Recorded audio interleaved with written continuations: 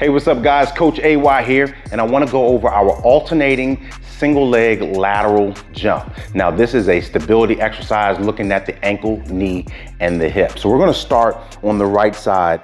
We're gonna get into an athletic bend with the right leg, okay? We're gonna lift that left foot off the ground so we are stabilized on the right side. From here, we're gonna jump to the left side and we're trying to stick that landing without putting that other foot down.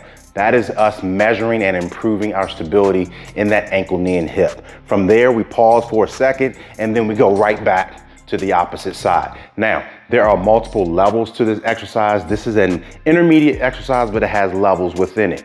Some of the levels are the distance that you can, that the athlete can jump. So you wanna get into a comfortable distance. We don't wanna overextend and have ourselves overextending like so, okay? Now we're gonna start getting into injury when we can over, when we start overextending.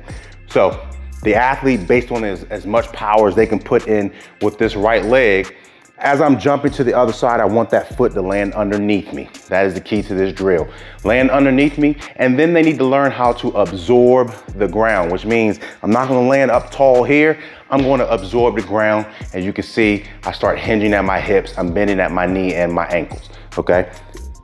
The other piece here is as the athlete gets more comfortable, then they can add a higher jump as if they are jumping over a hurdle. So instead of just jumping laterally there, they can jump up and over, okay? Still absorbing the ground, up and over, trying to stick that landing, okay? So do this for the prescribed number of reps or prescribed time.